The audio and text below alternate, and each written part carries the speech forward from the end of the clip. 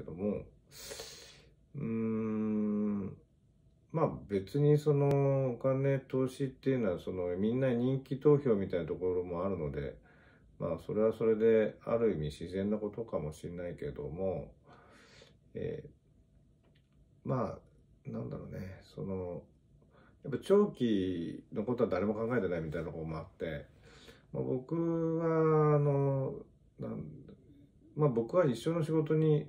してこの仕事アートの美術の仕事をやってるわけでだからやっぱり今までももう70年代60年代80年代でまあ絵の世界は何回もバブっては潰れてるんですよね。でその時に生き残ってきた作家っていうのをやっぱり見ているのでまあそれは例えば藤田であったりとか加山であったりとかするんですけどもやっぱなんだろうね。まあ人生でもですね、えーまあちょっとこう見てくれのいいですね。可愛い女の子と結婚してもね、えー可愛かったけどせなんだろう金目当ての女の子だって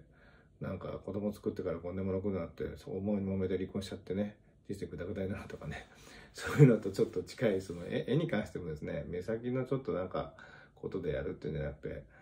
やっぱりずっとこうまあ添い遂げて嬉しくてで最終的に、まあ、コレクションコレクション最後をどうするかってことは考えてないってあの昨日の2人は言ったんですけど。まあ僕らはその最後の面倒を見る仕事でもあるので、その時にいろんな意味で、えーまあ、手放したり寄付したりとかするされることがそれからまあ相続したりするケースが多いんですけど、まあ、その時にやっぱり、え美術品もまあ大事にされて愛されてで受け継ぐ人は受け継ぐ人は僕ら、まあ、業者買ったりとか、まあ、オークションで、まあ、処分したりとかあるいは、えーまあ、お子さんとかお孫さんに譲ったりとか。うん、それから美術館に寄贈したり、まあ、いずれにしてもですねやっぱりみんなが幸せになるようなあの買い方とか集め方ってあると思うんですよね。でそれを考えた時にやっぱりあのなんだろう、うん。まあ、幸福になるような集め方っていうのはあると思うんで、まあ、イエリさんみたいなこのある種のスタンスっていうのはねお選びになったものがどうかということに関しては僕はちょっとうん。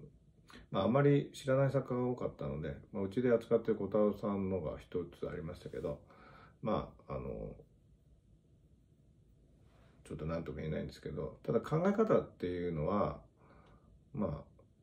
すごい面白いなと思ってですね。えー、そのうんまあお二人喋ってて面白いなと思ったらあのあんまりそのアートを集めてってことは別に他の人にあんまり自慢したり言ったりしないけど喋ってたらああ実はみたいな話になるってんでまあそれ自然なことだなと思うんですけどね。でもなんだろうその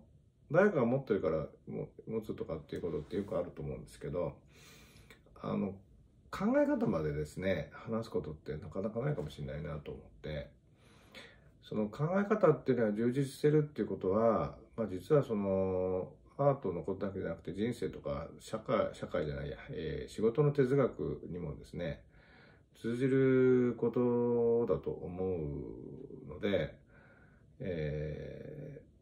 まあ僕はいろんなその70の人の80の人の90の人も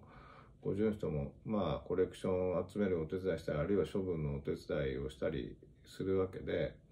やっぱりそのその人のライフステージでどうなるかっていうのを見てるわけですよね。でそういう時にやっぱりこう心ある集め方人としては心ある最後の、まあ、コレクション、まあ、僕ら買い取ることは多いんですけどうんやっぱりねなんていうかしらなんか僕らもなんか本当にこうあなんか